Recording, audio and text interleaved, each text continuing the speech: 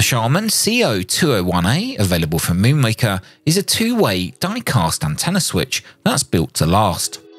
In the packet, we also find two self-tapping screws to aid installing the switch in your desired location.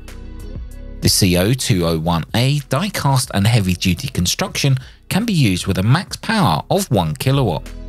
Specifically designed for wideband use, the CO201A will allow connection of two antennas to a single radio via the high-quality SO239 connections.